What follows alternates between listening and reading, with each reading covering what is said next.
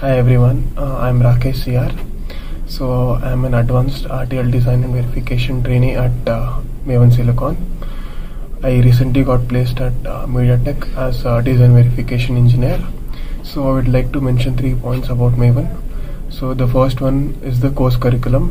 The course curriculum at um, Maven Silicon is on par with the industry. It will give you what and all required in the industry get to get into the industry.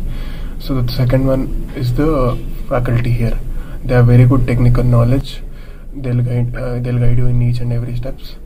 And the third is the most important part. They'll give you a good placement opportunity. So you'll have a one-on-one session with the placement coordinators. So if you have, if you want, if you have any uh, doubt, if you have any confusion regarding any placements, they'll clear it, clear it there and then. So all thanks to them.